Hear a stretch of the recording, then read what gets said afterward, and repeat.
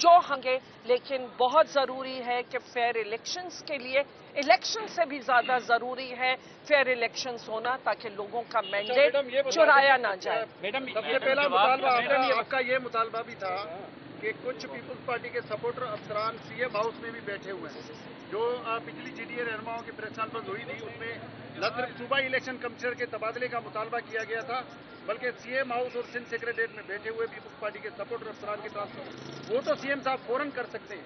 उनकी तरफ़ से क्या यकीन दहानियाँ कराई गई? जी, जहाँ तक आपने सूबाई इलेक्शन कमिश्नर की बात की, हमें उन पे बिल्कुल एतमाद नहीं है। वो हिस्सा हैं, उन्होंने आवाम के मैंडेट के ऊपर जिस तरह कि वो चीज़ जो लोकल गवर्नमेंट इलेक्शंस हुई हैं जो एक फार्स इलेक्शंस थी हमारी बेतहाशा शिकायतों के बाद वजूद उन्होंने एड्रेस नहीं किया। वो हमने इलेक्शन कमीशन को भी आ, बताया है और इनकी मौजूदगी में फेयर इलेक्शंस नहीं हो सकती। इसके साथ साथ और एक ऐसे न्यूट्रल आदमी को लाएँ इम्पार्शल को लाएँ कि जिनके अंडर के फेयर इलेक्शन न सिर्फ़ वो बल्कि उनके नीचे की पूरी टीम वो होनी चाहिए। एज फार एज आपने स्टाफ का बताया, उसकी निशानदेही की है, सरदार रहीम साहब ने भी की है। वो नाम भी हमने कहा है कि देंगे, कि उनको चेंज होना चाहिए। उन्होंने कहा कि यकीनन कुछ पुराने भी होंगे लेकिन अगर कोई अगर जिनके हवाले करप्शन के हवाले से या कोई अगर कोई मिसयूज कर रहा है अपनी इस पोस्ट को उसके हवाले से हम उनको शिकायत भेजें उसे वो चेंज मैडम मैडम ये बता दें मैडम ये बता दें कि इन तमाम मसाइल का जो भी आपने ज़िक्र किया इसके बावजूद पाकिस्तान पीपल्स पार्टी गुजशत पंद्रह सालों से सिंध में हुक्मरान जमात बनी है। हर मरतबा सियासी इतिहास बनते हैं पीपल्स पार्टी को शिकस्त देने के लिए कि, लेकिन उसके बाद फिर देखते हैं कि पीपल्स पार्टी की हुकूमत आती है। इस मरतबा क्या ऐसी आप लोगों की प्लानिंग है, खासतौर पर जीडीए की और दीगर जो सियासी जमातें हैं, ताकि पीपल्स पार्टी को टफ टाइम दे सकें और जो पंद्रह साल की उसकी हुक्मरानी रही है, उसको शिकस्त देकर किसी और सियासी जमात जो है ना वो आकर हुक्मरान बन जाए। एक न्यूट्रल इम्पार्शल इलेक्शन कमीशन एक इम्पार्शल प्रोविंशियल इलेक्शन कमिश्नर उनके साथ साथ पूरी टीम उनकी जो नीचे है। और यहाँ की टीचर्स और जो एजुकेशन डिपार्टमेंट जिनके थ्रू इलेक्शंस होती हैं वो कोई इलेक्शंस हैं ही नहीं। तो ये कहना कि पंद्रह साल से किसी की कंटिन्यूटी और किस क्या वो है तो ये सब बातें जहाँ इलेक्शन ही फेयर ना हो जहाँ लोगों के मैंडेट चुराए जाते हो कि वहाँ पे इलेक्शन नाम की कोई चीज़ हो ही नहीं आपका आपकी वजह बात है सिंध में एक गवर्नर भी है एक सियासी पार्टी से उनका ताल्लुक है। पीपल्स पार्टी के तो अफसरान होंगे ना। यहाँ तो गवर्नर एक पार्टी से है जिस पार्टी से भी आपके मुजाकर अलायंस के लिए होते हैं। गवर्नर सिंध पे आपका कोई एतराज़ है या वो ठीक है आपके ख्याल में? देखिए अब जिस अब तो ये पुरानी बात हो गई क्योंकि काफ़ी टाइम से वो हैं। लेकिन जो चीज़ है कि गवर्नर के पास पावर्स क्या हैं? गवर्नर्स के पास इलेक्शन से रिलेटेड कोई पावर्स नहीं है। और जब तक के अगर वो तब उनसे शिकायत तब वो की जाए जब उनके हाथ में कोई अथॉरिटी हो उनके हाथ में कोई पावर हो। ये प्योरली इलेक्शन कमीशन और ज़ाहिर है एडमिनिस्ट्रेटिव आएगा इंटरम सेटअप के पास तो इन दोनों को देखना है कि वो इम्पार्शल ऑफिसर्स लगे और इम्पार्शल आपकी अगर आएगा ये तब्दीली हो तो आप क्या कहेंगे? आप तब्दीली हो गया आपने बोला था उनको एहतजाज करेंगे क्या करेंगे? अभी इलेक्शन इलेक्शन में भी बड़ा टाइम है। जी। जी अगर आ, कौन तब्दील इलेक्शन कमिश्नर चेंज नहीं होता जीडीए की क्या हिकमत अमली होगी? क्योंकि अभी तक तो नहीं हुआ आपकी मुलाकात भी होगी देखिए मुतालबा किया है। मैंने कहा कि इलेक्शन से ज़्यादा ज़रूरी है फेयर इलेक्शन। आर्टिकल 218 218 का क्लॉज थ्री बहुत क्लियर है। क्या आप ये कह रहे हैं कि कॉन्स्टिट्यूशन की वायोलेशन होती रहेगी?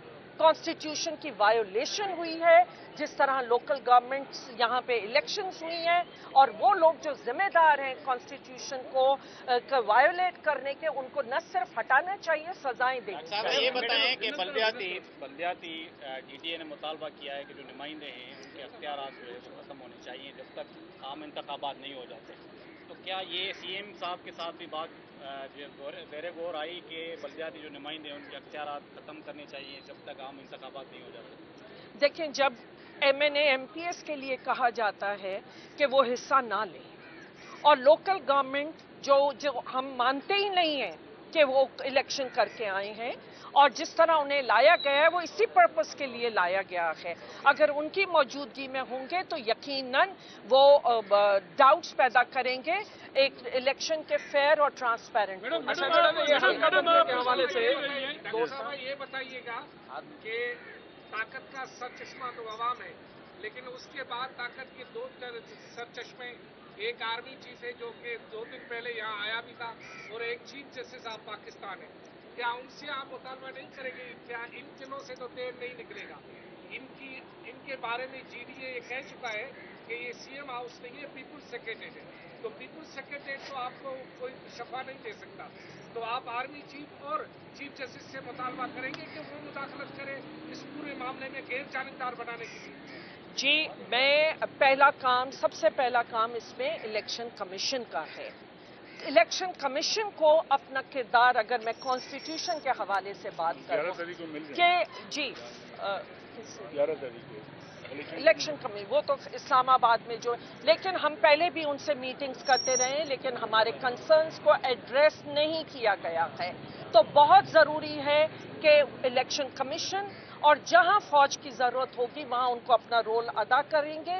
ज़ाहिर है कि अगर आपको सिक्योरिटी चाहिए और जो डंडे के ज़ोर पे जैसे इलेक्शनें छीनी जाती रही हैं कि ये सब चीज़ों के लिए। उसके अलावा कोर्टों में भी हम गए हैं। हम लोकल बॉडीज़ के हवाले से भी गए थे।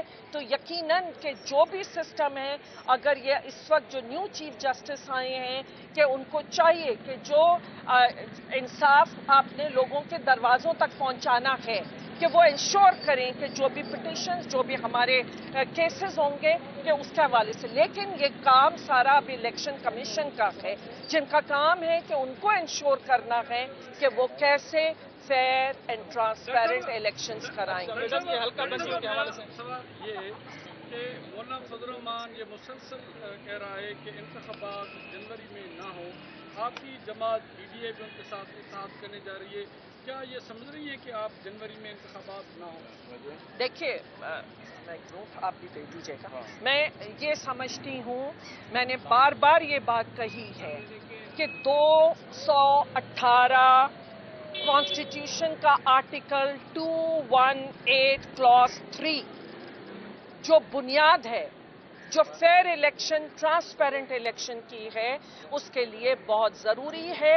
इलेक्शन से ज़्यादा कि ट्रांसपेरेंट एक आर्टिकल को आप जो मनपसंद आए, आप उस आर्टिकल को कहेंगे कि ये कॉन्स्टिट्यूशन क्या लेकिन ये कॉन्स्टिट्यूशन की वायोलेशन नहीं है। आज हमारा मुल्क जहाँ खड़ा है, आज जो हमारे मुल्क के मसाइल हैं, उसकी वजह यह है कि बार बार लोगों का मैंडेट चुराया जाता है। हकीकी नुमाइंदे कभी भी जो है कि उनको नहीं दिया जाता। हकीकी नुमाइंदों को आना चाहिए जिनका हाथ अवाम की पल्स पर हो। आज महँगाई हो, आपकी लॉ एंड ऑर्डर हो, इस सब के कौन है पीछे? कौन जिम्मेदार है? क्योंकि फेयर इलेक्शंस नहीं होती, क्योंकि हकीकी नुमाइंदे चुन के नहीं आते हैं, इसलिए आपकी कभी भी जो है कि मुल्क के हालात और अब अफोर्ड ही नहीं कर सकते हैं। ये वो चैलेंजेस हैं आज जहाँ हम आके खड़े हो गए हैं कि अगर इस मुल्क के लिए कोई हल है तो एक फेयर इलेक्शन का हल है। अच्छा उसके लिहाज से 218 सब क्लॉस थ्री को इम्प्लीमेंट अच्छा आप कह रहे आप, आप भी बात कर सांगढ़ के हल्के जो है जो आप कह रहे थे उसका मजीद मैं जवाब दे दूँ कि हमारा मौकफ ये है कि चाहे इलेक्शन दो दिन के अंदर हो या 120 दिन के अंदर हो इलेक्शन फेयर फ्री और ट्रांसपेरेंट होने चाहिए। जो कि डॉक्टर साहिबा ने कहा 2018 सबसेक्शन थ्री इसके तहत फेयर फ्री और अगर ट्रांसपेरेंट इलेक्शन नहीं हुए तो इलेक्शन सारे बेकार हैं। ये सब पैसा ज़ाय करेंगे और फिर वही लोग आ जाएँगे जो कि पंद्रह साल से हुकूमत कर रहे थे और सिंध का बेड़ा गर्क करते रहे। अच्छा अच्छा मैडम ये नई जो हल्का बंदियाँ हुई हैं इस हवाले से सांगड़ खट्टा जो है वो पीपल्स सेक्रेटरीट बना हुआ है। तो आज आपने मुलाकात की तो कैसा लगा कि सीएम हाउस जो है वो पीपल्स सेक्रेटरीट है या बदल गया है? देखिए जी आप दे दें आप दे दें। हाँ। देखिए हमें बड़ा ताजीम है चीफ मिनिस्टर साहब के इनकी बड़ी अच्छी रेपुटेशन है एज अ जज चीफ जस्टिस के तौर पर। लेकिन ये एडमिनिस्ट्रेशन का मामला ये फिर गए हैं सारी वो उस सिस्टम में जो कि इनके गिर्द गिर्द है और चीफ मिनिस्टर हाउस में है। हमने नाम नहीं लिए हमने कहा कि अगर आपको हम टाइम दे रहे हैं कि आप इनको तब्दील कर लें। उन्होंने कहा कि मैं देखूँगा मैं रिपोर्ट्स मांगूँगा और अगर कोई मुलविस हुआ किसी के साथ मुंसलिक हुआ तो मैं दो मिनट नहीं लगाऊँगा तब्दील कर दूँगा। इन्होंने तीन चार दफ़ा कहा कि दो मिनट नहीं लगाऊँगा। तो हम इनकी चूँकि रेपुटेशन अच्छी है और हमने खुद इनको वोट दिया चीफ मिनिस्टर के लिए तो हम इनको वो आ, मौका दे रहे हैं कि ये लोगों को तब्दील करें। और अगर नहीं करेंगे फिर हम आज़ाद होंगे अपना मौकफ इख्तियार करने के लिए और इकदाम मैडम हल्का बंदियों के हवाले से क्या कहेंगे? नहीं जो हल्का बंदियाँ हुई हैं उसमें तो पीपल्स पार्टी के कुछ हल्के जो असर रसूख वाले थे वो भी कम करके कराची में शामिल किए गए। क्या कहेंगे? जीडीए का क्या मतलब? हमने ये हमने बात की है और ये इलेक्शन कमीशन का मामला है। हम 11 तारीख को चीफ इलेक्शन कमीशन से मिल रहे हैं कमिश्नर साहब से। वहाँ पर यह हम मामला उठाएँगे शुक्रिया थैंक यू बहुत शुक्रिया थैंक यू थैंक यू